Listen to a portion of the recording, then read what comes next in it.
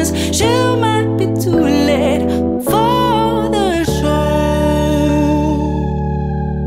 Good.